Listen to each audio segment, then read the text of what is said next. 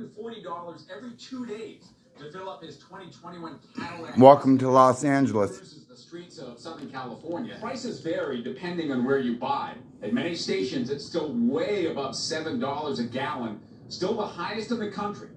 Though we've had a dip of a few cents in recent days, hardly a game changer. So the next California governor's election is coming up in November, and Michael Shellenberger is running. You know him if you watch the show. He's a genuinely impressive guy. The more you learn about I'll him, vote for more you realize anybody that. other than Newsom. I gotta throw that bum out of here. Thanks for joining us. Why are you running? Well, let me just say, you're mm-hmm. the videos that you did on homelessness in California, which actually tried to answer the question, why is this happening? Something no one else has asked, were among the most illuminating things I've, I've ever seen. So on the basis of that alone, I would vote for you. Thank you. But tell us why you're Well, running. he's got my Thank you. vote too.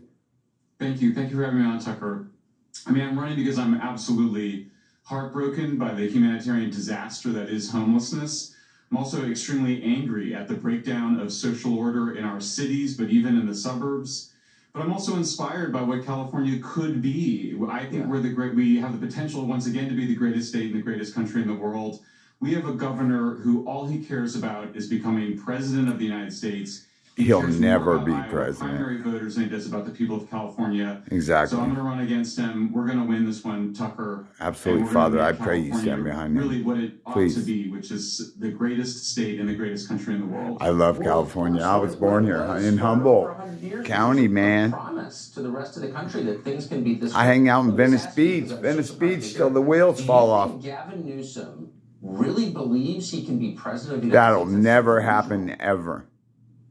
Well, yeah, I mean, if you look at his Twitter feed, he's entirely obsessed with attacking other states. He doesn't talk about the disaster It's in The fact that homelessness California.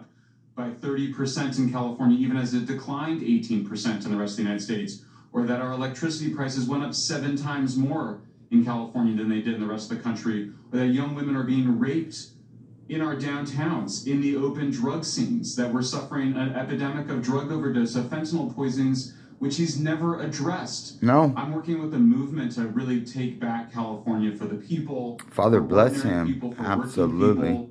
We need to address the drug crisis, Absolutely. but our schools are failing our students. They become more about the adults who run them than the students who need them. Absolutely. So it's there's so much that needs to be fixed. We should have abundant energy and water. California is rich. Absolutely, with all of it. In water, in energy, but the pro-scarcity, anti-human environmentalists control Gavin Newsom, and they've made our energy and water scarce. I'm going to put an end to that. I'm going to bring new agreement between Republicans and Democrats and independents. Good for you. That's why I'm running no party preference. You know, your your listeners and your viewers can see. Good for you. I'm Shellenberger independent. for Governor.com. I lay out a vision that I really believe is going to bring California together. Good for you. And you. I hope you can do it. Yeah, I mean, it's my a vote. No doubt about it. Anyone who can break that and show a better way could change the country. So we're really Absolutely. Thank you. Absolutely.